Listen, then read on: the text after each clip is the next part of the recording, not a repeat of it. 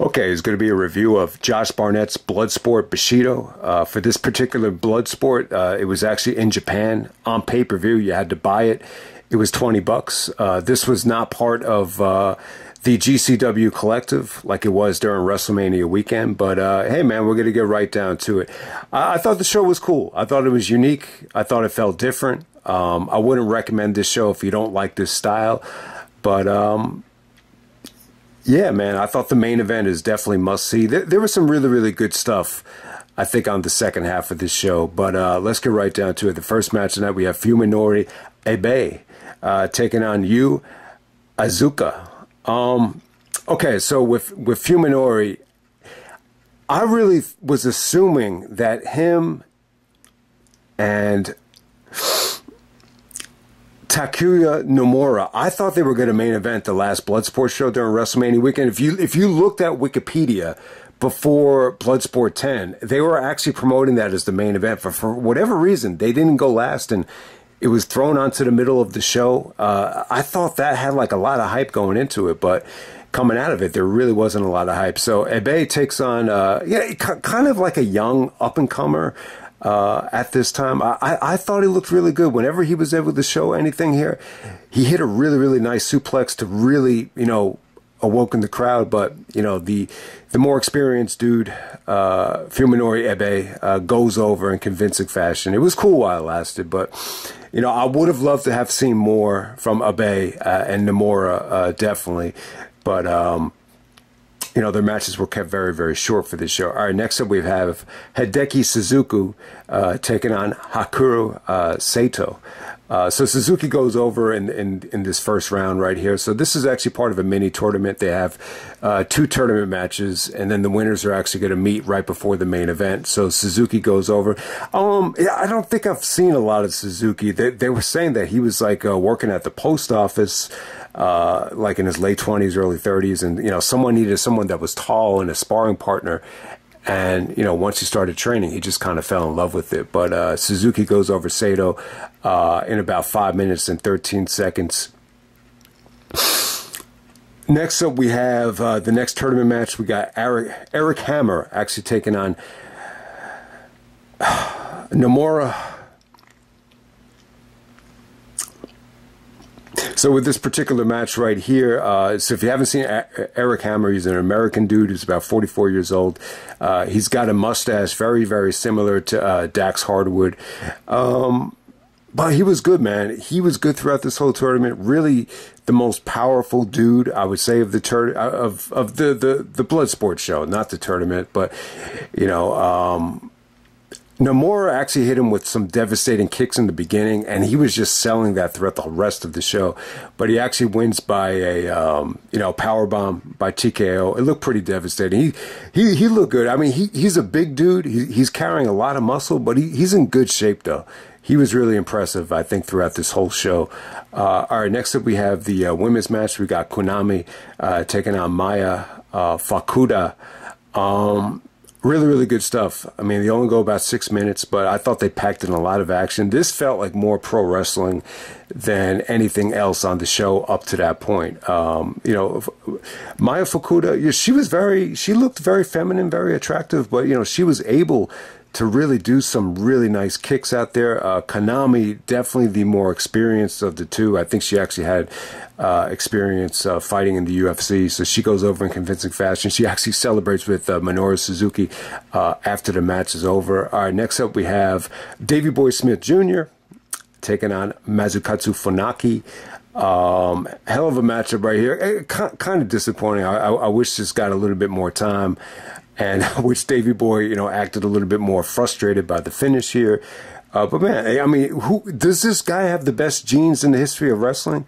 The British Bulldog marrying into the Hart family. You, you would assume David David Boy Smith Jr has got to have some of the best genes ever. Uh, so he's taking out Funaki here. Funaki is obviously, uh, you know, a legend. He actually trained in the New Japan dojo, like when Chris Benoit was there. But at this point, he's probably the oldest guy on the show, 55 years old, I think. But uh, he's still really, really good. I mean, I, I thought this was a unique combination. Um, obviously, he's got the age factor on Davey Boy, but Davey Boy's getting up there as well. I mean, the average age on this show is like maybe 46, 47. Like when you when you really think about it, maybe that's kind of stretching it. But I, I mean, the ending was pretty cool here. Davey Boy puts on the sharpshooter. Uh, Funaki, you know, catches it and puts him into a almost like an Achilles lock or a leg bar uh, to make Davey Boy tap out. So then we, the intermission was long as hell. I mean, it, it felt like the intermission was like a half hour. All right, next up we have Rampage, Rampage Jackson, uh, Quinton Rampage Jackson, uh, taking on Hideki Sekine. And I would, I would actually say this was this was the worst thing of the night. Uh, I don't want to disrespect Rampage. Uh, I haven't seen any of his fights. I don't know if this is the first time he ever participated in wrestling. He actually got on the mic after it was over and, and saying he would love to come back and entertain. So, yeah, I, I, it, it came off to me like this is really like one of his first experiences, you know, wrestling. Uh, but I mean, he, he really just was trying to punch the whole time. This was strictly about him just punching here. There's really not much to say about. Sekine actually did look impressive towards the beginning of this thing, but this dude actually came out in the mask, and they were saying that initially he started wearing a mask because he was trying to do fighting MMA and uh, you know be a cop at the same time. So that's why he you know started out you know wrestling in a mask. But uh, all right, next up we have the return of Santino Marella. Santino Marella taking on uh, Kazushi Sakuraba. Um, so once again, another you, you definitely had some good star power on this show. I mean, most of the stars here, you know, pretty much past their prime. But I'll, I'll tell you what, man, I thought this was really good. This was definitely one of the better things of the night. This is like at least three and a half for me. Um, Santino looked really um, different here. Like he just looked humble. He looked serious. He looked nervous, but at the same time, like he didn't any of the annoying shit that you saw, you know, throughout his WWE tenure, you know, totally out the drain. What, what was interesting here was, you know, if, if Sakuraba was actually mocking him with like the Cobra stuff. So that that was really interesting. But uh, yeah, I mean, you, you, just had this was just pretty much.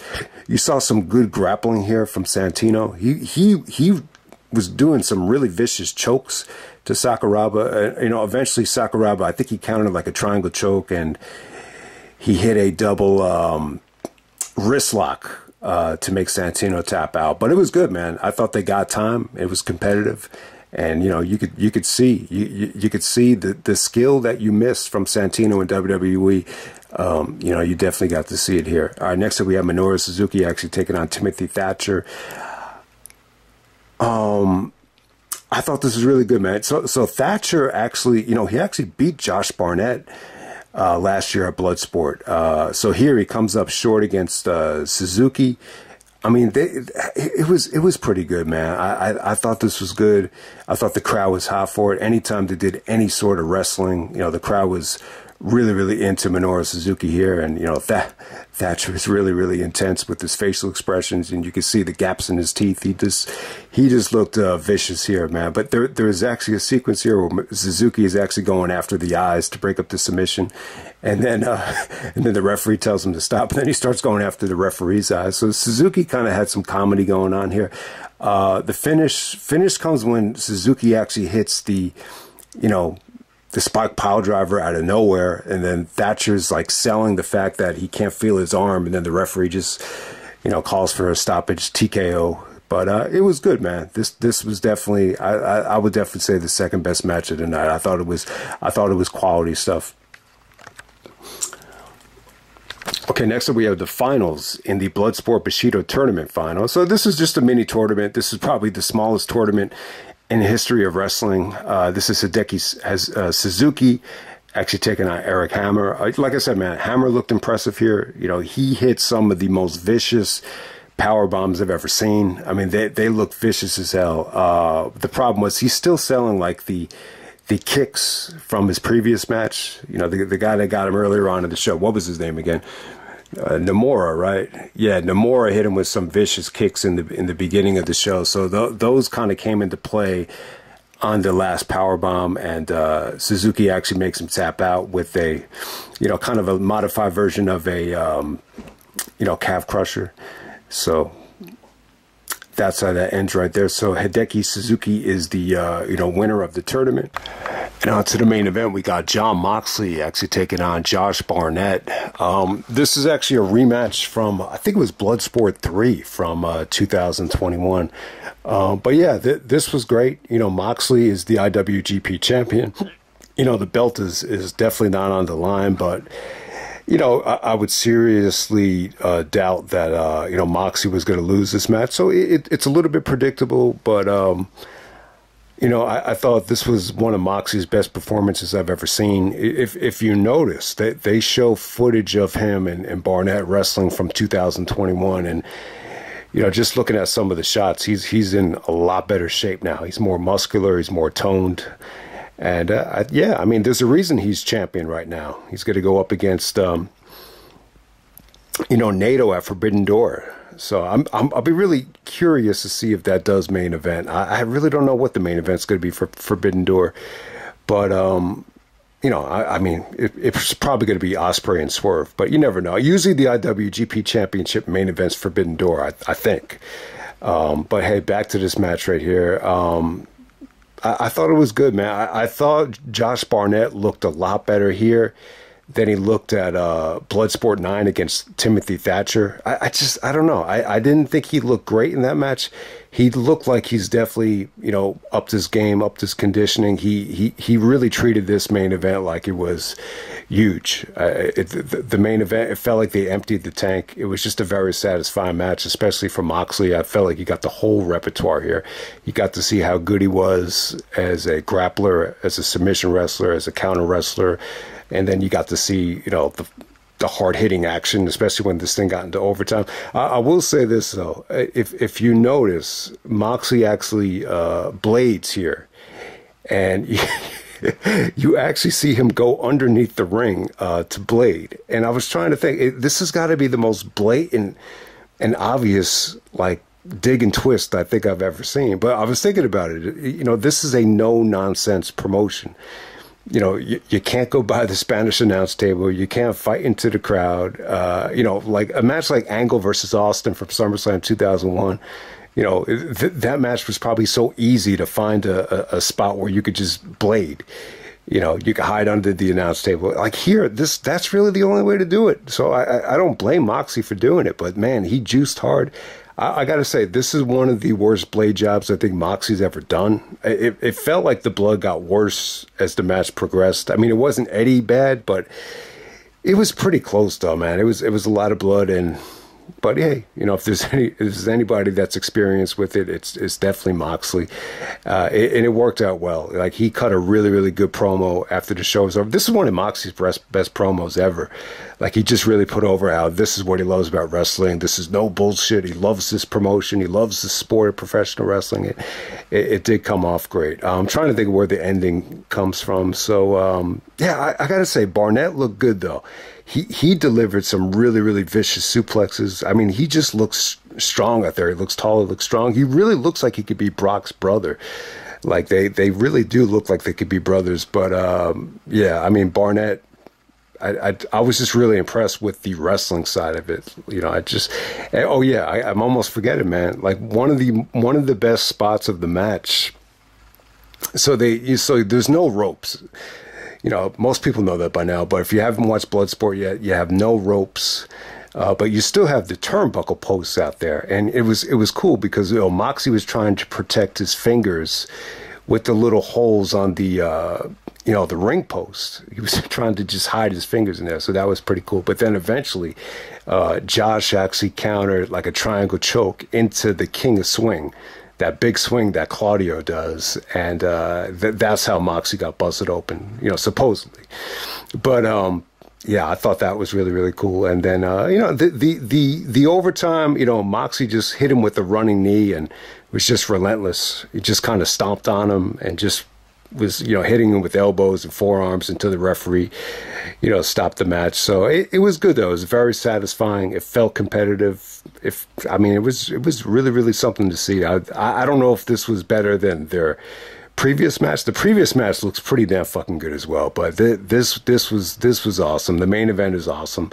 And um, yeah, I mean, I, I, think the show was quality. It was it was a quality show. I, I think the the to me the Japanese environment. I think it actually works, um, you know, better for Bloodsport. I, I really, I, I enjoy the show a lot more than the show from Los Angeles, from Bloodsport Nine. Um, God, there was there was a Bloodsport, I think, from Atlantic City. I think it was Bloodsport Four. That was phenomenal as well. Whoever Jonathan Gresham fought on that show, like that, that's that's the first Bloodsport match that really you know, blew me away. But but other than other than that, I think I think this Barnett, you know, Moxley match, uh, you know, was pretty damn good. Well, I'm trying to think, you know, Moxley had a really good a really good main event against um, was it Thatcher?